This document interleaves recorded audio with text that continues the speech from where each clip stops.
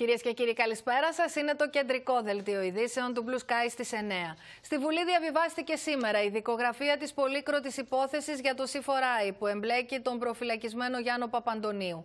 Ένας νέος μάρτυρας, τέλεχος του Υπουργείου Εθνικής Άμυνας, εκτιμά ότι ο πρώην Υπουργός δωροδοκήθηκε με τουλάχιστον 15 εκατομμύρια ευρώ και ότι την υπόθεση γνώριζε και ο Κώστας Σιμίτης. Για κατασκευασμένες κατηγορίες κάνει λόγο το κίνημα αλλαγής.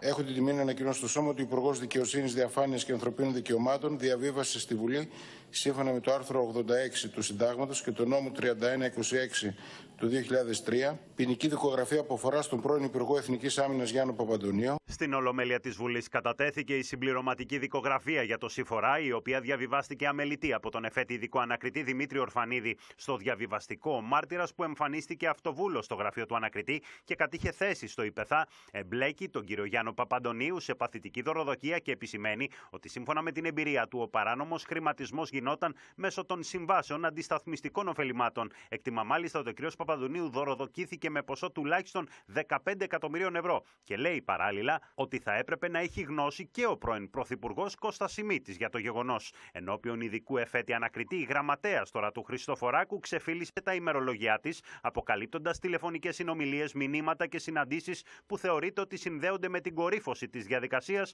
για την παραγγελία του Σιφοράη από την εταιρεία ΣΑΙΚ, μέτοχος της οποίας ήταν η Siemens. Εγώ σας ρωτάω πώ βγήκε ο μάρτυρας. Μήπως τον βάλανε, όπως βάλανε στην Νοβάρτη. Όπω βάλανε στην Νοβάρτη. Δεν βάλανε τρεις παιδομάρτυρες. Το στοιχείο το νέο δεν είναι στοιχείο που αφορά λογαριασμούς. Είναι στοιχείο που αφορά ένα μάρτυρα που λέει ότι κατά τη γνώμη του τα πήραν υπουργοί και ίσως και ο πρωθυπουργός. Αυτό δεν είναι στοιχείο νέο. Αυτό είναι μια καταγγελία η οποία με πολύ αβασάνιστο τρόπο την αποδέχεται μια κυβέρνηση στην ουσία και κάνει ολόκληρη διαδικασία. Να πω κάτι, να είμαι ειλικρινής. Εγώ πιστεύω ότι ο Σιμίτης δεν έχει καμία ευθύνη. Καμία. Καμία. Ακόμα δέχομαι ότι δεν ήξερε. Δεν υπάρχει ένα θέμα όμως ότι, από, ότι δίπλα του, από κάτω του, όλοι, μα όλοι ή σχεδόν όλοι έχουν, είχαν κάποιο πρόβλημα. Καμία προσπάθεια από εμάς να εμπλακούμε ή να παρέμβουμε ή να επέμβουμε στο έργο των δικαστικών αρχών, αλλά και σε καμία περίπτωση δεν πρόκειται να συγκαλύψουμε. Την ίδια ώρα η Νέα Δημοκρατία κρατά ψηλά το θέμα της ΔΕΠΑ, με την Μαρία Σπυράκη να μιλά για παράνομη ανταλλαγή ακινήτων, ζητώντας εξηγήσεις από την κυβέρνηση. Η κυβέρνηση επιχείρησε να χαρίσει χρέη της εταιρείας συμφερόντων του κυρίου Λαβρεντιάδη προς τη ΔΕΠΑ. Εδώ και δύο εβδομάδες δεν έχουμε λάβει ούτε μία απάντηση επί της ουσίας. Αποκαλύπτεται ότι υπήρχε σε προχωρημένο στάδιο σχέδιο παράνομης ανταλλαγής ακινήτων της εταιρείας ΕΛΦΕ έναντι χρέους της προς τη ΔΕΠΑ. Κύρα Αδάμ και Χρήστος Κόνστας είναι στο στούντιο του Blue Sky. Τους α, καλησπερίζω. Και κύρα, ε, αρχίζει παρελθοντολογία στη σκανδαλολογία και δεν ξέρω πού θα οδηγηθούμε, δεδομένου ότι ασχολούμαθα με ε, σκάνδαλα και ε, καταχρηστικές ενδεχομένως συμβάσεις. Μη λειτουργούσες στον δεδομένο χρόνο για τον οποίο αγοράστηκαν. Ε, αυτήν την ώρα, ε, ενώ έχουν ανοίξει παράλληλα και θα μας πει και ο Χρήστος τι γίνεται, άλλα ζητήματα φρέσκων κατά την αντιπολίτευση σκανδάλων, όπως η περίπτωση της ΔΕΦΑ. Όσο πλησιάζουμε προς τις ε, εκλογές, ε, το ξέρουμε το, το έργο, είμαστε θεατές ε, στο ίδιο έργο, θα, αυξηθούν, θα αυξηθεί η, η σκανδαλολογία ένθεν και ένθεν. Το πρόβλημα, νομίζω εγώ, για τον μέσο πολίτη είναι ότι όλα αυτά τα οποία έρχονται στην επιφάνεια είναι υπαρκτά προβλήματα και του παρελθόντος και του παρόντος. Το θέμα είναι ότι χρήματα των φορολογουμένων και του ελληνικού κράτους έχουν χαθεί. Κανείς δεν είπε πώς χάθηκαν, πού πήγανε, ξαφανίστηκαν απλώς. Και επειδή όλο αυτό το πλαίσιο είναι τόσο ασαφές και τόσο βαθύ που πια έχει και το, το χρόνο με το μέρος του, ο καθένας μπορεί να βγαίνει και να λέει ό,τι θέλει και αυτό να είναι αντικείμενο εκμετάλλευσης από τη μία πλευρά ή την άλλη. Τώρα, κύριε, θέλω να σου πω κάτι. Ένα, ένα, ένα λεπτό, Χριστό. Εγώ θέλω να κάνω μια παρατήρηση πραγματολογική. Φυσικά και κανείς από εμά που συζητούμε αυτή την ώρα αυτό το θέμα ε, δεν θα έβαζε ποτέ κάποια ένσταση ή κάποιο ερωτηματικό για το αν πρέπει να ερευνηθούν ή όχι. Δεν Δεδομένο είναι ότι όλοι επιθυμούμε και την κάθαρση και τη διαφάνεια. Από την άλλη όμως είναι η δεύτερη φορά που βλέπω τους εισαγγελείς φυσικά ακολουθώντας τον νόμο και τον όρο αμελητή να διαβιβάζουν μία δικογραφία στη Βουλή διότι πέφτουν πάνω σε πολιτικό πρόσωπο. Όμως ό,τι ε, ε, προκύπτει ως κατηγορία εντός εισαγωγικών για τη λειτουργία και το τεκμήριο της αθωότητος βασίζεται στο εικάζω, εκτιμώ, νομίζω. Και αυτό το έργο το είδαμε να ανεβαίνει και στην υπόθεση Νοβάρτης. Δεν είναι η μοναδική φορά που το αντιμετωπίζουμε. Αυτό, αυτό είναι το, το, το βασικό σημείο, ότι όλες αυτές οι υποθέσεις που έχουν πάρει το δρόμο τους ή προσπαθούν τέλος πάντων να βρουν το δρόμο τους προς τη δικαιοσύνη, δεν βασίζονται σε υπαρκτά στοιχεία απολύτως σταθερά και τεκμηριωμένα. Και στην υπόθεση Νοβάρτης και σε τούτου εδώ και σε άλλες υπάρχουν άνθρωποι οι οποίοι βεβαίως ήταν στο ευρύτερο περίγυρο και έχουν με αυτό ή εκείνο τον τρόπο χειριστεί το θέμα και οι οποίοι περιορίζονται σε κάποιες εκτιμήσεις ή νομίζουν ότι ή θυμούνται ότι χωρίς να υπάρχει κανένα απολύτως συγκεκριμένο... Πολύ. Ζητώ συγγνώμη για την διακοπή. Μισό λεπτό λίγο. Είσαι, είσαι υπέρ, είσαι υπέρ της σκανδαλολογίας. Ζητώ συγγνώμη. Τι έχουμε εδώ, έχουμε ένα καινούριο στοιχείο. Τι είναι αυτό το καινούριο στοιχείο, ο κύριος Βασιλάκος κάτι θυμήθηκε και αρχές Νοέμβρη πήγε και ξανακατέθεσε. Έτσι. Αυτό είναι το καινούριο στοιχείο. Ο κ. Βασιλάκος, σας θυμίζω, έχει καταθέσει το 2013. Έχει, τα έχει πει όλα. Και τέλος πάντων έχει τα προβλήματά του με τη δικαιοσύνη. Θυμήθηκε κάτι και τα είπε τώρα στον εισαγγελέα.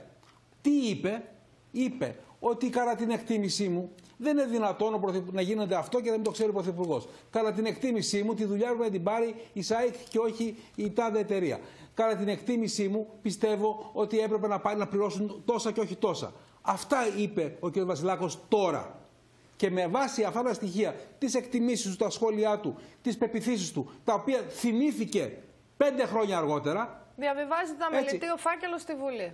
Ο φάκελος διαβιβάζεται αμελητή γιατί αφού αναφέρθηκε το όνομα ενός πρωθυπουργού, ενός πολιτικού προσώπου, ενός υπουργού, οπωσδήποτε πρέπει να πάει στη Βουλή. Αλλά το καινούριο στοιχείο ποιο είναι; Ότι τώρα ο, ο Γενικός Γραμματέας Εξοπλισμών θυμήθηκε να πει τις εκτιμήσεις του μετά από πέντε χρόνια. Την ίδια όμως μέρα συμβαίνουν αυτά που βγαίνουν χαρτιά, βγαίνουν emails υπουργών της κυβέρνησης αυτής να έχουν δώσει εντολές για σκάνδαλο όπως είναι αυτό της ΔΕΠΑ.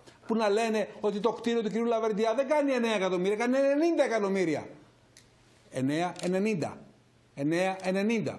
Ότι μην το κάνεις έτσι, κάνει το αλλιώς, λέει ο ένας υπουργός με email. Και έχουμε τον διοκόμενο πρώην διοικητή της, ε, διευθύνοντα σύμβουλο της ΔΕΠΑ να αποκαλύπτει χαρτιά, επαναλαμβάνω, χαρτιά, όχι ε, μου είπανε άκουσα εκτιμώ, να δείχνει τα email και να λέει εγώ παιδιά ό,τι έκανα ε, έδινε αναφορά σε τέσσερις υπουργούς της κυβέρνησης. Άρα λοιπόν η κυβέρνηση θέλει να συζητάμε για το παρελθόν, Της αρέσει αυτή η συζήτηση για το παρελθόν, πλην όμως ξεχνάει το παρόν. Αυτά που συμβαίνουν σήμερα. Και δεν λέω για τα υπόλοιπα, δεν λέω για το αεροδρόμιο, δεν λέω για όλα τα υπόλοιπα. Λέω για τα πράγματα Από που υπάρχουν. Από ό,τι φαίνεται, η μανιέρα στην πολιτική, Χριστό, αγαπητέ συνάδελφοι, είναι να, να συζητούμε ε, σε μελλοντικό χρόνο τα του παρελθόντος. Και τώρα, σε παρόντα χρόνο, συζητούμε τα του παρελθόντος. Σε μέλλοντα χρόνο θα συζητούμε Χωρίς τα όμως του παρελθόντος. Χωρί όμως καινούργια στοιχεία. Γιατί το καινούργιο ναι. στοιχείο είναι η κατάθεση του κυρίου Βασιλάκου που είπε: Εκτιμώ, θυμάμαι, ε, ότι σκέφτομαι ίσως δεν είπε κανένα στοιχείο, Τώρα, δεν έδωσε ένα στοιχείο. Στο, πολιτικό, στο πολιτικό διατάφτα, τι κέρδος θα έχει η κυβέρνηση ή έχει η κυβέρνηση; Αυτό που σας είπα. Ή, ότι ή αντί να μιλάμε για, για τα πραγματικά. ότι θα έχει κύρα από τη στοχοποίηση του Κώστα Σιμίτη; Αν μου επιτρέπει ο Χρήστος ε, να συνεχίσω το συλλογισμό μου. Ε, σε καμία περίπτωση δεν μπορεί κανείς να αποδεχθεί ένα συμψηφισμό σκανδαλολογίας που βγαίνει από, τον, από το κόμμα του ΣΥΡΙΖΑ ή που θα έρθει από το κόμμα της ε, Νέας Δημοκρατίας. Ο δρόμος είναι πολύ ολισθηρός. Όταν υπάρχουν στοιχεία αδιάστατα, δεν υπάρχει καμία αμφιβολία ότι αυτά πρέπει να διαβιβάζονται κατευθείαν στη δικαιοσύνη. Εδώ παίρνουμε έναν ολισθηρό δρόμο και θέλουμε η πολιτική ακόμα και σήμερα, σε αυτή την πολύ ευαίσθητη στιγμή που βρισκόμαστε, να βασίζεται στα σκάνδαλα του παρελθόντος, του παρόντος, με μία περίοδο στην οποία υπάρχει άκρα του τάφου σιωπή, που είναι οι κυβερνήσεις μεταξύ του κυρίου Σιμίτη και της, ε, των κυβερνήσεων του Μνημονίου. Εκεί δεν έχουμε τίποτα, δεν έχει γίνει τίποτα. Η σκανδαλολογία όμως, όταν δεν γίνεται για να απαλλαγεί το δημόσιο από όλο αυτό το, το κύκλωμα το οποίο ε, το έχει καταταλαιπωρήσει δεκαετίες ολόκληρες και απλώς γίνεται αφορμή Ως εργαλείο για πολιτικής εργαλείο πίεσης. πολιτικής αντιπαράθεσης και πίεσης ε, το ένα κόμμα προς το άλλο, αυτό θεωρώ ότι είναι ένας φοβερά είναι ολιστηρός άγωνο, αλλά δρόμος είναι η και που συνεχώς τελικά, επαναλαμβανόμενη και που τελικά, κατάσταση που και που αντιμετωπίζουμε. τελικά, όπως μέχρι τώρα, καταλήγει σε συγκάλυψη ή σε κάποιες ακραίες περιπτώσεις που βεβαίως έχουν βαρύτατη ευθύνη όπως αυτή του κυρίου Τσοχατζόπουλου, αλλά το κύκλωμα, οι διαδικασίες, η πρακτική, η ευκολία με την οποία γίνονται όλα αυτά, κανείς δεν τα αγγίζει και από ό,τι βλέπουμε και θα το δούμε και στο μέλλον, κανείς δεν θα τα κόψει και δεν θα εξηγιάνει το δημόσιο. Αυτός είναι ο μεγαλύτερος από όλους Πάντως η αλήθεια είναι, Κύρα, ότι έχει ένα δίκιο ο Χρήστος Κώστας στην επισήμανση, διότι το ίδιο είδαμε και στην περίοδο που ε, είχε ανέβει πάρα πολύ το θέμα των βλημάτων, της πόλης των βλημάτων στη Σαουδική Αραβία και Βεβαίως. Είναι υπήρξε ανοιχτή. απόλυτη κάλυψη στον κύριο Καμένο τέλος Η πάντων για υπόθεση να είναι μην ανοιχτή. υπάρξει εξεταστική επιτροπή. Με τον ίδιο τρόπο η κυβέρνηση απαντούσε με ένα παρελθοντικό σκάνδαλο. Γι' αυτό χρησιμοποίησα τον όρο ότι τα μελλοντικά. Ναι, και μην ξεχνάμε Οι ότι... μελλοντικές, αν θες, κόντρες θα αφορούν παρελθόντα. Ακριβώς και μην ξεχνάμε ότι το σκάνδαλο Νοβάρτης συνέπεσε, ας το πούμε έτσι πολύ απλά, με την ε, έξαρση του, του, της αντίδρασης του κόσμου στο μακεδονικό. Ναι, και σωστό. αυτό είναι ένα Είναι πολύ, κατ' επιλογή. πολύ δεν σοβαρό το βλέπετε σημείο. ότι κάθε φορά που γίνεται κάτι, κάτι θυμούνται. Κάποιος θυμήθηκε, παιδιά. Είναι σημαντικό αυτό που σας λέω. Δεν έχουμε ένα καινούργιο Με στοιχείο. αυτή τη Αν λογική κάποιοι- που βάζεις Χριστό όμως θα μας κάνεις να υποψιαστούμε ότι κάποιος θυμήθηκε από τη στιγμή που θυμήθηκε η κυβέρνηση να μας γνωστοποιήσει ότι άνοιξε τους λογαριασμούς του κύριου Σιμίτη. Ότι είναι δηλαδή ένα ευρύτερο Μα σχέδιο και οι- το οποίο βρίσκεται και σε οι λογαριασμοί εξέλιξη. του κυρίου Σιμίτη ανοίγουν όταν ήθελαν να αποσπάσουν την προσοχή της κοινή γνώμης από κάποιο άλλο γεγονός. Αυτό είναι το θέμα. Όταν ξέσπασε το σκάνδαλο της ΡΕΠΑ, τότε θυμήθηκε η κυβέρνηση να ανοίξει τους λογαριασμούς του κυρίου Σιμίτη. Προφανώς η αντιπολίτευση δεν έχει α, καλή μνήμη, διότι πλην του, πριν από το σκάνδαλο της ΔΕΠΑ θα μπορούσε να έχει βγάλει στην επιφάνεια και άλλες υποθέσεις α, που δεν είναι τόσο σαφείς της κυβέρνησης. Το αεροδρόμιο, Αλλά για επαναλαμβάνω, δεν μπορούμε να μπούμε σε Καλά, μια εμείς τέτοια... σίγουρα δεν μπορούμε να μπούμε. α- Πάντως, ατραπό, επειδή ας πούμε. παρακολούθησα την ενημέρωση των πολιτικών συντακτών από την εκπρόσωπο τύπου της αξιωματικής αντιπολίτευσης, η κυρία Σπυράκη ε, επανέλαβε ότι η Νέα Δημοκρατία αναμένει επισήμως απαντήσεις για όλα αυτά τα οποία έχει θέσει ο, Σπύρος, νωρί- ο Χρήστος α, νωρίτερα και για τα οποία η, η κυβέρνηση τηρεί μια εκοφαντική σιωπή μέχρι στιγμής. Μα ξεχάσατε τι έγινε με το επαναλαμβάνουν προσφυγικό, και μπήκε θέτουν ο- το ένα θέμα μετά το άλλο, χωρίς να λαμβάνουν απαντήσεις. Αντί λοιπόν, να αυτό συζητάμε το τα- το καταγράφουμε παρόν. μέχρι η κυβέρνηση να δώσει κάποιες απαντήσεις. Αυτές είναι οι αιτιάσεις της αξιωματικής αντιπολίτευσης. Λοιπόν, πάμε να προχωρήσουμε. Σειρά συναντήσεων εκπροσώπων των εκκλησιών με την α, κυβέρνηση και τα κόμματα. Ο Υπουργός Παιδείας Κώστας Γαβρόγλου συνάντησε εκπροσώπους της Ιεράς Αρχιεπισκοπής Κρήτης χωρίς λευκό καπνό, με τις δύο πλευρές να επιβεβαιώνουν ότι έχουν σημαντικές διαφορές αλλά και διάθεση για επικοδομητικό διάλογο. Σήμερα συναντήθηκαν και με τον πρόεδρο της αξιωματικής αντιπολίτευσης που ξεκαθάρισε ότι ακόμα και αν ο Αλέξης Τσίπρας επιβάλλει μονομερό στην αλλαγή του εργασιακού καθεστώτος των κληρικών, η Νέα Δημοκρατία δεν θα την αναγνωρίσει ως επόμενη κυβέρνηση και θα επαναφέρει το υφιστάμενο καθεστώς μισθοδοσίας τους. Και ο Σταύρος Θεοδωράκης άκουσε τους προβληματισμούς των ιερέων, αναφέροντας ότι χρειάζεται μια καθαρή συμφωνία με το κράτος, ενώ αυστηρή επιστολή έστειλε ο Πατριάρχης Βαρθολομαίο, που αποκαλύπτει πως εδώ και 1,5 χρόνο έχει ενημερώσει την κυβέρνηση από- ότι το φανάρι είναι ενάντια σε κάθε αλλαγή στο άρθρο 3 του Συντάγματος. Συνεχίζεται ο κύκλος συζητήσεων με τους εκπροσώπους της Εκκλησίας για τα 15 σημεία του κοινού ανακοινοθέντος του Αρχιεπισκόπου Ιερώνυμου και του Πρωθυπουργού. Ο Υπουργός Παιδείας Κώστας Γαβρόλου ενημέρωσε αντιπρόσωπο της Ιεράς Αρχιεπισκοπής της Κρήτης. Υπάρχουν διαφορές προσεγγίσεων ε, από την Εκκλησία της Κρήτης. Το σημαντικό όμως είναι όχι τόσο οι διαφορές που μας ήρθαν και γραπτά και τις ξέραμε εξάλλου, όσο η πεποίθηση ότι τα προβλήματα μπορούν να λυθούν μέσα από τον διάλογο. Ναι. Θα θέλαμε να συνεχιστεί αυτός ο διάλογος. Ναι.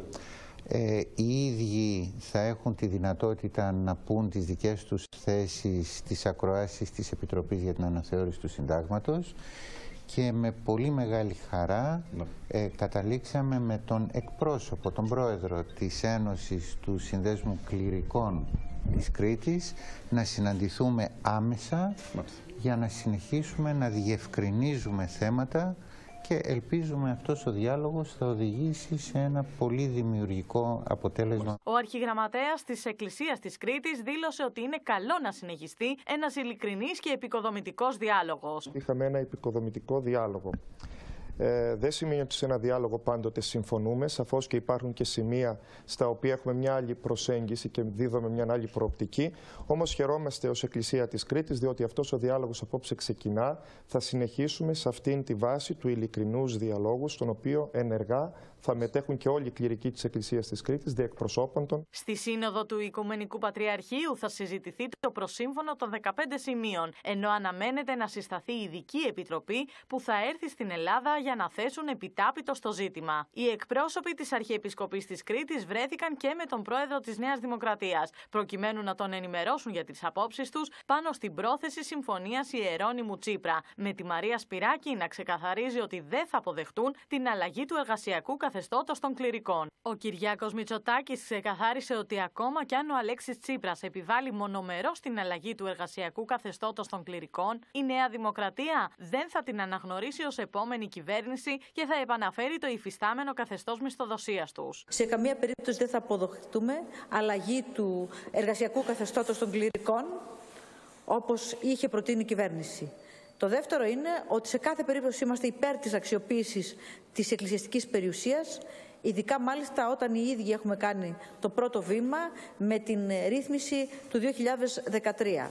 Όπως είδατε όμως, μια και αναφέρεστε στη συμφωνία, η συμφωνία αυτή ήταν ένα θαύμα που δεν κράτησε ούτε τρεις μέρες και εξελίχθηκε σε ένα από τα βατερλό του κ. Τσίπρα. Έχει αρκετά στο παλμαρέτου. Ευχαριστούμε θερμά τον κύριο Πρόεδρο, διότι ομολογώ πως μας ανέπαυσε στις δεσμεύσεις του και στα όσα μας ανεκοίνωσε από πλευράς της Νέας Δημοκρατίας ότι πρόκειται να διακρατήσει το καθεστώς της μισοδοσίας των κληρικών όσο έχει και ότι διαφωνεί επίσης ρητά με την αναθεώρηση των άρθρων του Συντάγματος 21 που αναφέρεται στην οικογένεια ως θεμέλιο της ελληνικής κοινωνίας και στο άρθρο 3 επίσης το οποίο αναφέρεται στην επικρατούσα θρησκεία, την Ορθόδοξη Ανατολική θρησκεία η οποία σήμερα είναι η επικρατούσα στη χώρα μας. Ο Σταύρος Θεοδωράκης επανέλαβε την πάγια θέση του ποταμιού υπέρ των διακριτών ρόλων κράτους εκκλησίας και σχετικά με το φλέγον θέμα της μισθοδοσίας των κληρικών τόνισε πως η εκκλησία της Κρήτης όπως και το φανάρι έπρεπε να είχαν ενημερωθεί για το περιεχόμενο της συμφωνίας καθώς πρόσθεσε ότι χρειάζεται μια καθαρή συμφωνία με το κράτος που να εξασφαλίζει τη μισθοδοσία του ιερού κλήρου. Αυστηρή επιστολή Βαρθολομαίου όπου αποκαλύπτει πως εδώ και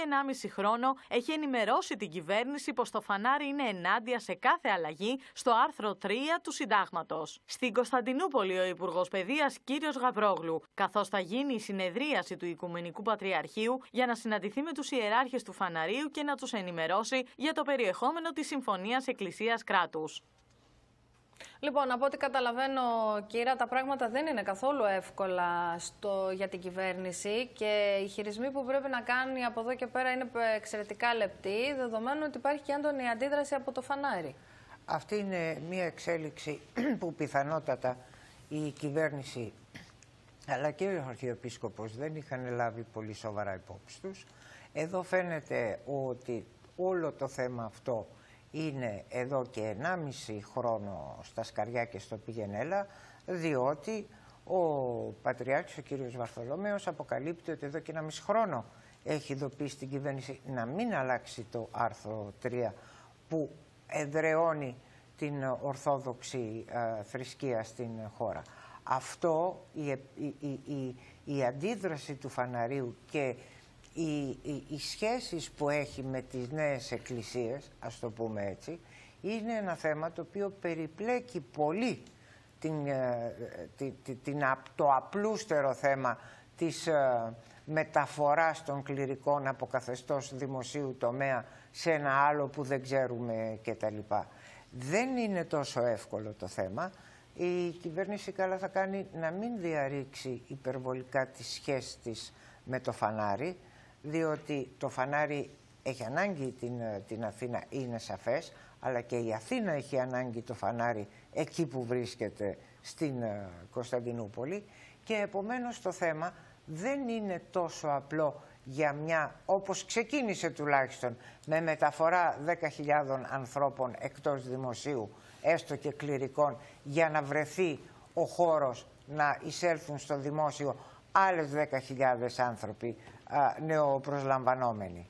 Ε, έχω την εντύπωση ότι θα έχουμε πολλά ακόμα επεισόδια να δούμε σε αυτό το σύριαλ. Μπορώ; Βεβαίως. Τι έχουμε εδώ; Έχουμε ένα πρόβλημα έχουμε μια περιουσία ενός δισεκατομμυρίου ευρώ τουλάχιστον αναξιοποιείται γιατί διεκδικείται από την Εκκλησία και από την πολιτεία. Σύμφωνοι. Mm Ποια είναι η λύση, είχε βρει ο Σαμαράς μια λύση να φτιαχτεί ένα, μια, ένα ταμείο αξιοποίησης. Ω ένα σημείο το είχαν προχωρήσει, χωρίς μεγάλες αντιδράσεις. Ήρθε εδώ η κυβέρνηση λοιπόν και πήγε ένα βήμα παραπέρα. Αντί να μαλώνουμε, έλα να το συνδιαχειριστούμε αυτό το πράγμα και ό,τι βγάλουμε μισά-μισά. Να μην σκοτωνόμαστε στα δικαστήρια, να την προχωρήσουμε αυτή την επιχείρηση. Μέχρι εδώ Όλα καλά. Αρχίζεις και λες, ρε παιδί μου, κάτι γίνεται. Έλα όμως που η κυβέρνηση ήθελε να αντίσει όλο αυτό το πράγμα με το αριστερό της πρόσημο. Με τις σχέσεις κράτου και εκκλησίας με το να πετάξει τους κληρικούς από το δημόσιο και να τους βάλει κάπου αλλού. Τους για... ορθόδοξους, ε, Σωστό. Αυτό, ναι, γιατί σωστό, πολύ αυτό είναι το, το, το, θέμα που δημιουργεί όλο. Γιατί αυτό δεν αφορά έτσι. στους μουφτίδες, Φερρυπίν. Έτσι, έτσι. Πολύ σωστή παρατήρηση. Ούτε στους uh, Ρωμαιοκαθολικούς, Γιατί ήθελε να ντύσει μια ορθολογική, σχεδόν φιλελεύθερη διαχείριση της περιουσίας, της κοινής περιουσίας. Μα σε αυτή τη βάση συμφωνεί και η ίδια ναι, η Εκκλησία. Ακριβώς. Αλλά αυτό, αυτό που λες είναι το ζήτημα. Ότι σπουδοί να, να, να ανακοινώσουν τα ρουσφέτια Έτσι. στο εκλογικό σώμα Ακριβώς. έκαψε όλες τις καλές προθέσεις και τη θετική βάση όπως αυτή είχε αποτυπωθεί στις κοινές δηλώσεις Πρωθυπουργού και Αρχιεπισκόπου. Έτσι. Από εκεί και πέρα το θέμα ξέφυγε. Γιατί ο καθένας άρχισε να λέει το μακρύ και το κοντό του. Λοιπόν, έχω την, έχω την υποψία ότι σήμερα στο φανάρι τελειώνει αυτή η μικρή σεμνή τελετή. Θα ταφεί αυτή η ωραία πρωτοβουλία που είχε και νόημα, επαναλαμβάνω. Είχε νόημα. Αντί να σκοτώνονται για, τα διακατεχό, για τις διακατεχόμενες εκτάσεις πολιτεία και εκκλησία να καθίσουν μαζί, να τις συνδιαχειριστούν, να τις αξιοποιήσουν από κοινού και να παράξουν όφελος και για το κράτος και για την εκκλησία, έπρεπε η κυβέρνηση να κάνει το αριστερό της πάρτι. Το αριστερό της, δεν θέλω να πω την άλλη λέξη. Από εκεί και πέρα, αυτό ζούμε τώρα. Αν είχαμε μείνει στην στη λογική, αυτονόητη απόφαση, ε, αυτό δούλευαν τόσο καιρό. Αυτό που δούλευαν δεν ήταν η σχέση κράτου-εκκλησία, ούτε τη θέση των κλινικών. Αυτό που δούλευαν ήταν πώς θα λύσουμε το πρόβλημα της κοινής μας περιουσίας, της αμφισβητούμενη περιουσίας. Το λύσαν αυτό, με έναν τρόπο που ήδη υπήρχε, αλλά έστω μεταξελιγμένο, καλύτερο, πιο σύγχρονο, ό,τι θέλεις, πες το. Αλλά αντί να, αντί να περιοριστούν σε αυτό, ήθελε να τον ντύσει με τη μεταρρύθμιση και να το βάλει και στο θέμα της συνταγματικής αναθεώρησης. Και Αυτή εκεί νομίζω ότι έγινε το μεγάλο λάθος. Ε, για πάνω στη σπουδή να προσποριστούν ε, μικροκομματικά ωφέλη. Νομίζω ότι εκεί κάει και μια, μια μεγάλη ευκαιρία, την οποία την έβλεπε με ένα θετικό μάτι και η Εκκλησία, που συνήθως σε αυτές τις μεταβολές είναι πολύ αρνητική και αντιδρά. Και το έχουμε δει και στο παρελθόν που είχαν ξεσηκωθεί φοβερές, έτσι, είχαν γίνει κινητοποιήσεις ε, για άλλα ε, σημεία. Ερώτημα, μέρος αυτής της ε, περιουσίας, αν, αν κατέληγε κάπου σε διαμερισμό, θα έμπαινε και αυτή στο υπερταμείο; Αυτό είναι το μεγάλο. Είπαν να τη βάλουν στο δικό τους υπερταμείο, να φτιάξουν ένα κοινό ταμείο, ένα ταϊπέδ της Εκκλησίας, της εκκλησιαστικής περιουσίας. Άμα ακούς ταϊπέδ, πάει υπερπίστο και πατρίδο και η Εκκλησία. Όχι, αυτό ήταν το μυστικό. Δηλαδή αυτό ήταν και το κέρδος, αν θέλετε. Γιατί και το δημόσιο αυτή την περιουσία εμένα, δεν την έβαζε στο υπερταμείο. Με βάζει σε πολλούς προβληματισμούς. Αυτό που λέει η Κύρα από την πρώτη στιγμή ήταν το μεγάλο ερωτηματικό αν η εκκλησιαστική περιουσία θα πάει στο, στο, στον κουβά χωρίς πάτο του δημοσίου χρέους και το δεύτερο, οι πληροφορίες που υπάρχουν ότι μέσα στα προβλεπόμενα και σχεδιαζόμενα για την επόμενη δεκαετία είναι ένα μνημόνιο εκκλησιαστικό το οποίο θα περιλαμβάνει τη μείωση το, του αριθμού των κληρικών και το κλείσιμο εκκλησιών.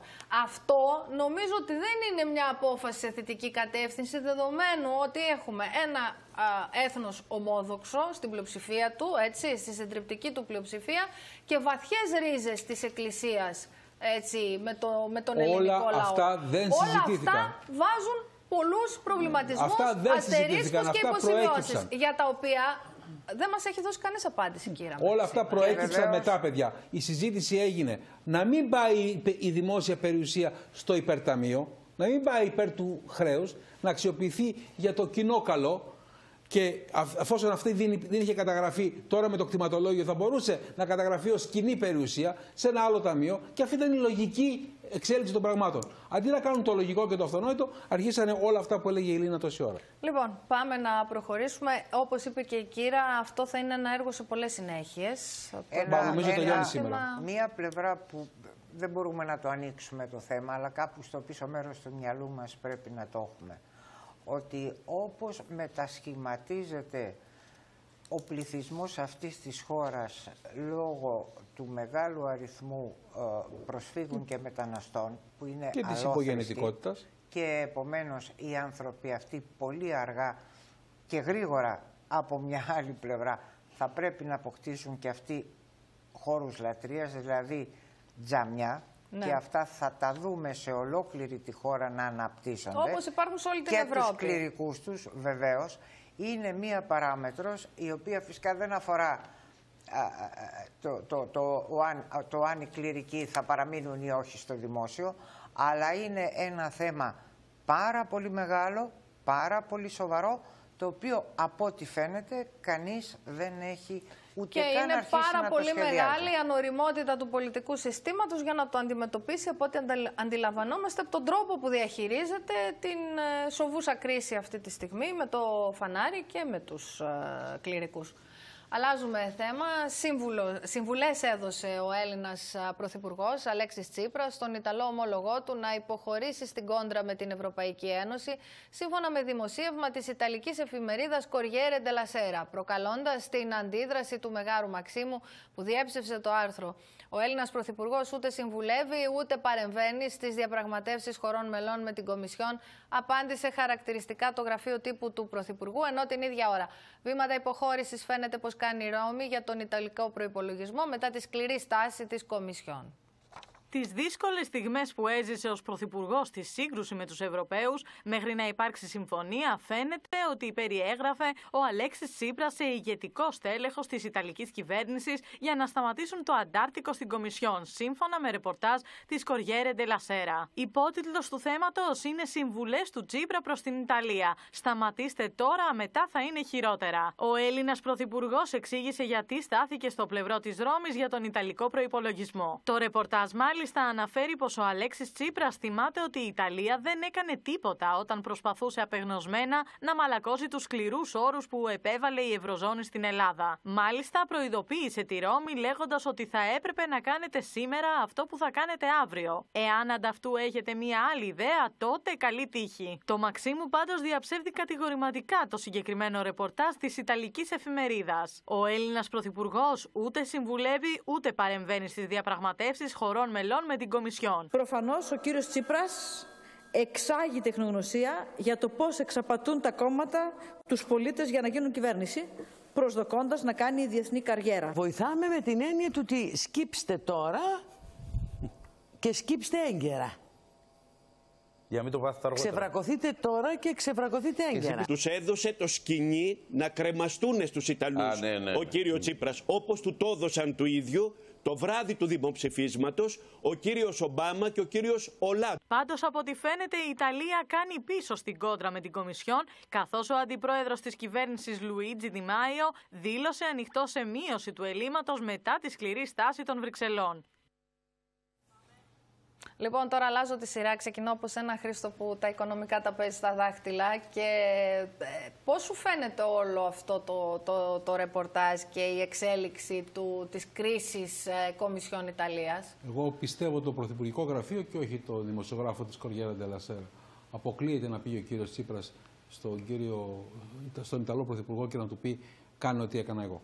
Αυτό που πήγε να κάνει στην- στη Ρώμη ήταν να πει να διερευνήσει τα όρια αντοχής και μαχη, μαχητικότητας του Ιταλού Πρωθυπουργού ώστε να κανονίσει και αυτός τη Ήταν δικιά του διερευνητική δηλαδή. για να κάνει τη δικιά του πορεία. Οι δύο επαναστάτες, εισαγωγικά βάζω τη λέξη, της Ευρώπης, ο καθένας έχει τη δικιά του προεκλογική ατζέντα και θέλει να δει μέχρι πού θα το πάει ο τέλο για να κάνει και αυτός τα δικά του. Αυτό που έγραψε η Κοριέρα Τερασέρα πρέπει να ήταν μια δια- διαρροή από συνεργάτη του Πρωθυπουργού προς τον δημοσιογράφο, τι του είπε κτλ. Και, και λίγο πολύ ε, αυτό θα ήθελε να υποθ, το Μαξίμου να βγει προς τα έξω ότι ο κύριος Τσίπρας τώρα πια είναι καλό παιδί, είναι υπάκος και είναι, και, και είναι προσαρμοσμένος, είναι σοσιαλδημοκράτης πια και επομένως δεν θα έλεγε ε, τίποτα περισσότερο. Α- Αυτό είναι λίγο πολύ το θέμα. Η ουσία της υπόθεσης ποια είναι; Η ουσία της υπόθεσης είναι ότι η τρίτη οικονομία της Ευρωζώνης είναι και αυτή μια οικονομία που πρέπει να ενταχθεί στο ευρωπαϊκό πλαίσιο και εντάσσεται. Όλες οι φανφαρώνικε εκφράσεις που ακούσαμε στην προεκλογική τους περίοδο, ο λαϊκισμός που κέρδισε τις εκλογές αυτό, το πέντε, τα πέντε αστέρια, τα έξι αστέρια, η, η Λέγκα κτλ. Τελικά ε, δεν θα μαλώσουμε και για μερικά δεκαδικά ψηφία, είπε ο Σαλβίνη, και σε- με αυτό το, ε, ε, και με αυτό το επιχείρημα θα κάνουν αυτό που ξέρουν πιο καλά από εμάς, την καλύτερη Ιταλική κολοτούμπα. Κύρα. Για ποιο απ' όλα. Το τι θα κάνει η Ιταλία. δεν Κοίταξε, μπορούμε το να ανησυχητικό είναι το τι θα κάνει η Ιταλία. Εμείς ό,τι ήταν να κάνουμε το κάναμε και αυτά που πρέπει να κάνουμε φαίνεται ότι δεν τα κάνουμε προς το παρόν. Ενώ ως προς τις κολοτούμπες, ό,τι ήταν να κάνουμε το κάναμε. Ε, η Ιταλία αυτή τη στιγμή απόψε υποτίθεται ότι συνεδριάζουν να δουν από πού μπορούν να κάνουν κάποιες ε, περικοπές ε, στο δημόσιο τομέα για να κρατήσουν τις προεκλογικές υποσχέσεις α, στους Ιταλούς. Δηλαδή ε, να μην ε, μειώσουν ε, συντάξεις, να μην ε, αυξήσουν τα όρια της ε, ε, συνταξιοδότησης, ε, να εξασφαλίσουν έναν ε, απόλυτο κατώτατο Μισθό. α, μισθό κτλ. κτλ. Δεν ξέρουμε πού θα οδηγήσει αυτό. Α, δεν ξέρουμε τι θα αποδεχθεί ή τι δεν θα αποδεχθεί η Κομισιόν που μπορεί να το δώσει έτσι χαριστικά στην Ιταλία αυτή τη στιγμή. Δεν ξέρουμε ακόμα τι γίνεται με τις Ιταλικές τράπεζες επί της ουσίας και τη συμπεριφορά των α, αγορών. Ε, αυτό που γνωρίζουμε εμείς όμως για μας και νομίζω ότι θα πρέπει να σταματήσουμε να χρησιμοποιούμε και πάλι ένα δανεικό, μια δανεική αιτιολογία. Α, δεν μας στέει απολύτως ε, η Ιταλία α, για το γεγονός ότι τα ελληνικά σπρέντ έχουν πάρει πάλι α, την ανηφόρα προς, ε, προς το Θεό. Την Παρασκευή ήταν στο 5, σήμερα Ακριβώς. στο 4,6. Ε, κάτι το οποίο δεν έχει κάνει η Πορτογαλία, δεν έχει κάνει η Ιρλανδία, δεν έχει κάνει η Κύπρος. Άρα η ζημία που υ- υφίσταται α, η Αθήνα από την συμπεριφορά της ελληνικής κυβέρνησης α, δεν είναι η ουσία, είναι ένα μικρό ποσοστό της πολύ κακής κατάστασης και εικόνας που δίνει η χώρα προς τις ξένες αγορές. Αυτό είναι δικό μας και δεν είναι κανενός άλλου. Και είτε δίνει ο, ο Έλληνας Πρωθυπουργός συμβουλές στον ε, Ιταλό Πρωθυπουργό να μην ε, κάνει τα δικά του κτλ. Τώρα η αλήθεια είναι κάπου στη μέση, κάτι υπόθηκε ανάμεσα στους δύο και βγήκε με αυτό τον απόλυτο τρόπο προς τα έξω.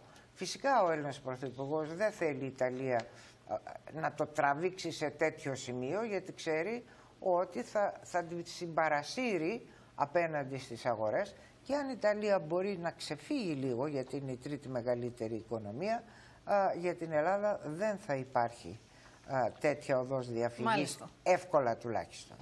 Λοιπόν, σας ευχαριστώ πάρα πολύ που ήσασταν α, μαζί μου απόψε. Προχωρούμε και αλλάζουμε θέμα, κυρίες και κύριοι. Μπορεί μέσα στα χρόνια των μνημονίων να υπήρχαν συγκεκριμένοι περιορισμοί ως προς τις προσλήψεις δημοσίων υπαλλήλων. Ωστόσο, το δημόσιο φαίνεται πως γιγαντώθηκε. Ο κυβερνητικός συνασπισμός, λοιπόν, κατάφερε να προσλάβει σε θέσεις μόνιμου και έκτακτου προσωπικούς στο στενό και ευρύτερο δημόσιο τομέα 21.924 άτομα τα τελευταία δυόμιση χρόνια.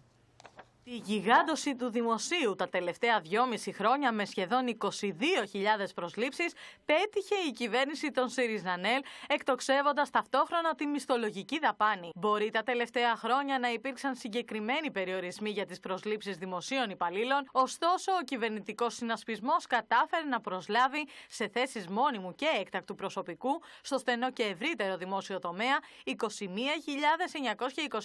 άτομα τα τελευταία δυόμιση χρόνια με τη δαπάνη να υπολογίζεται για το 2018 στα 18 δισεκατομμύρια ευρώ. Όπως αναφέρεται σε ρεπορτάζ της Καθημερινής, ο κανόνας της μίας πρόσληψης και κάθε τρεις ή τέσσερις αποχωρήσεις εργαζομένων που είχε συμφωνηθεί με τους πιστωτές δεν εμπόδισε την κυβέρνηση να αυξήσει τον αριθμό των εργαζομένων στο δημόσιο αλλά και τη μισθολογική δαπάνη σε μία περίοδο μάλιστα όπου οι Έλληνες γονάτισαν από τους υπέρογκους φόρους. Από την επεξεργασία των δεδομένων που δημοσιεύονται στο Μητρό Ανθρώπινου Δυναμικού του Ελληνικού Δημοσίου φαίνεται ότι το άθροισμα τακτικού και έκτακτου προσωπικού στον στενό δημόσιο τομέα αλλά και στα εκατοντάδες νομικά πρόσωπα ιδιωτικού δικαίου έφτασε τον Δεκέμβριο του 2017 σχεδόν στα 700.000 άτομα που παρουσιάζεται αυξημένο κατά περίπου 22.000 σε σχέση με τον Δεκέμβριο του 2015.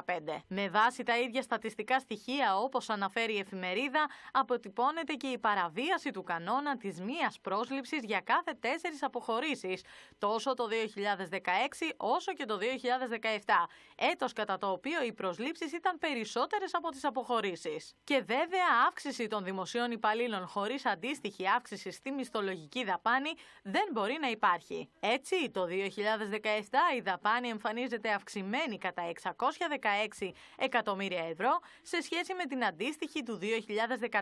Όσον αφορά στο 2018, είναι δεδομένο ότι θα κλείσει με αύξηση της μισθολογικής δαπάνης, ενώ το ίδιο αναμένεται όπως εκτιμά η εφημερίδα Καθημερινή και για το 2019, με δεδομένο ότι η κυβέρνηση προγραμματίζει άλλες χιλιάδες προσλήψεις. Αναζητήθηκαν σήμερα στο TaxisNet τα τέλη κυκλοφορίας για το 2019 που θα πρέπει να πληρωθούν μέχρι τις 31 Δεκεμβρίου. Όπως και τα προηγούμενα χρόνια, τα ειδοποιητήρια δεν αποστέλλονται ταχυδρομικώ και οι φορολογούμενοι καλούνται να τα αναζητήσουν μέσω της ειδικής ηλεκτρονικής εφαρμογής. Συνολικά, μέχρι το τέλος του έτους, οι φορολογικές υποχρεώσεις που περιλαμβάνουν εκτός των τελών της δόσης έμφυα φόρου εισοδήματος, ληξιπρόθεσμες οφειλές και έμεσους φόρους ξεπερνούν τα 8,5 δισεκατομμύρια ευρώ. Έχουμε μια έκτακτη είδηση, κυρίες και κύριοι. Υπήρξε μια απόπειρα ληστείας με ανταλλαγή πυροβολισμών. Πού ακριβώς θα μας πει ευθύς αμέσως ο Βαγγέλης Σαρής. Καλησπέρα, Βαγγέλη. Καλησπέρα Λίνα. Στα Βρυλίσια, σε μεγάλο σούπερ μάρκετ στα Βρυλίσια, είχαμε ματηρή ε, ένοπλη ληστεία που σημειώθηκε εκεί, σημαίνοντας συναγερμό στην ελληνική αστυνομία. Ε, δύο ληστές εισέβαλαν στο μεγάλο κατάστημα, ωστόσο κατά τη διαφυγή τους εντοπίστηκαν από τους αστυνομικούς. Υπήρξε ανταλλαγή πυροβολισμών, από τους οποίους τραυματίστηκε ο ένας ληστής, συνελήφθη άμεσα, ενώ λίγο αργότερα πέρασαν χειροπέδες οι άνδρε της αστυνομίας και στον ε, δεύτερο. Σύμφωνα με όλες τις πληροφορίες, οι υπεύθυνοι του σούπερ μάρκετ πρόλαβαν να ειδοποιήσουν την αστυνομία προτού διαφύγουν οι δράστες. Άνδρες της ομάδας Δίας βρίσκονταν κοντά, ανταποκρίθηκαν, έφτασαν και βρέθηκαν αντιμέτωποι με τους ληστές. Ακολούθησε ανταλλαγή πυροβολισμών και οι αστυνομικοί πυροβόλησαν και τραυμάτισαν τον έναν από τους δύο που συνέλαβαν. Ο δεύτερος κατάφερε να φύγει, ωστόσο ακολούθησε καταδίωξη και λίγα λεπτά Μάλιστα. αργότερα συνελήφθη. Να σε ευχαριστήσουμε για την άμεση ενημέρωση, Βαγγέλη Σαρή. Πάμε να περάσουμε, κυρίες και κύριοι, τα σύνορα. Τύμπανα πολέμου μεταξύ Ρωσίας και Ουκρανίας μετά το θερμό επεισόδιο στο στενό του Κέρτς, όπου οι Ρώσοι εμβόλυσαν και κατάσχεσαν τρία ουκρανικά πολεμικά πλοία που σύμφωνα με τη Μόσχα εισέβαλαν στα χωρικά της ύδατα. Το πολεμικό ναυτικό της Ρωσίας, που κρατάει και 24 Ουκρανούς ναύτες, άνοιξε πυρ, τραυματίζοντας τρεις από αυτούς, ενώ ο πρόεδρος Ποροσένκο έθεσε τη χώρα του σε πολεμική ετοιμότητα, υπογράφοντας διάταγμα για την επιβολή στρατιωτικού νόμου. Το θέμα με πρωτοβουλία και των δύο χωρών έφτασε στο Συμβούλιο Ασφαλείας του ΟΗΕ. Ένα ρωσικό πολεμικό πλοίο εμβολίζει ουκρανικό σκάφο στα στενά του Κέρτ στην Κρυμαία σε ένα θερμό επεισόδιο ανάμεσα σε Ρωσία και Ουκρανία. Οι ουκρανικέ στρατιωτικέ δυνάμει τέθηκαν άμεσα σε ετοιμότητα. Ми розглядаємо це як акт агресії проти нашої держави. Ми розглядаємо це як дуже серйозну загрозу. Для Російської Федерації, на жаль, не існує жодних червоних ліній. Σύμφωνα με τη Μόσχα, όλα ξεκίνησαν όταν τρία πολεμικά ουκρανικά πλοία εισήλθαν παρανόμω στα ρωσικά χωρικά ύδατα. Και αφού αψήφισαν, όπω λέει η Μόσχα, προειδοποιήσει των Ρώσων να σταματήσουν, έκαναν επικίνδυνου ελιγμού. Τότε τα ρωσικά πλοία άνοιξαν πυρ και τραυματίστηκαν έξι Ουκρανοί ναύτε, σύμφωνα με το Κίεβο. Για τρει τραυματίε κάνει λόγο η Μόσχα. Первым с Украины Бердянск вник по линейному капу, нарушивший границу с Российской Федерацией, задержан. Το πολεμικό ναυτικό τη Ρωσία έκλεισε τα στενά, εχμαλωτίζοντα τα ουκρανικά πλοία, οδηγώντα τα στο λιμάνι του Κέρτ, όπω μεταδίδουν και τα διεθνή μέσα ενημέρωση με πλάνα από το σημείο. Ο Ποροσέγκο, εξοργισμένο, ζητά την επιβολή στρατιωτικού νόμου για δύο μήνε τουλάχιστον σε ολόκληρη τη χώρα. Приймаю рішення підтримати пропозицію воєнного комітету, винести на засідання Ради національної безпеки і оборони відповідне рішення і звернутися з ним до Верховної Ради України. Воєнний кабінет констатував, що напад російських військових на кораблі воєнно-морських сил є нічим іншим, як актом воєнної агресії. Τα ουκρανικά πλοία δεν δείχνουν να έχουν ζημιέ σύμφωνα με τα πλάνα που μεταδίδονται, ενώ οι ρωσικέ αρχέ επέτρεψαν λίγε ώρε μετά το θερμό επεισόδιο και πάλι την διέλευση από τα στενά του Κέρτ που είχαν αποκλείσει. Наверное, когда украинская сторона э, планировала эту провокацию, Jetzt schon geschehen ist, dass geschossen wird, äh, ist alles andere als akzeptabel. в расчете на то, что США и Европа, как всегда, э, безоглядно э, будут э, вставать на э, сторону провокации. Ουκρανοί εθνικιστέ συγκεντρώθηκαν έξω από ρωσικέ πρεσβείε και προξενία, βάζοντα φωτιέ και απειλώντα να εισβάλλουν με αφορμή το θερμό επεισόδιο, ενώ ζήτησαν την άμεση απελευθέρωση των 24 εχμαλώτων ναυτών από την Ρωσία. Я це розцінюю як відкриту агресію Російської Федерації проти України. Και η Ευρωπαϊκή Ένωση μέσω Ντόναλτ Τούσκ ζήτησε από τον Ρώσο Πρόεδρο να απελευθερώσει του Ουκρανού ναύτε και να επιστρέψει τα πλοία. Φτάσαμε στο τέλος α, του δελτίου μας, α, κυρίες και κύριοι. Ακολουθεί η πρόγνωση του καιρού και στη συνέχεια εκπομπή παρεμβάσεις με τον Άκη Παυλόπουλο. Να σας ενημερώσουμε ότι αύριο δεν θα μεταδοθεί δελτίο ειδήσεων, καθώς οι δημοσιογράφοι απεργούμε εν ώψη της γενικής απεργίας που έχει προκηρύξει η ΓΕΣΕ για την Τετάρτη. Να είστε καλά, να έχετε ένα όμορφο βράδυ. Γεια σας.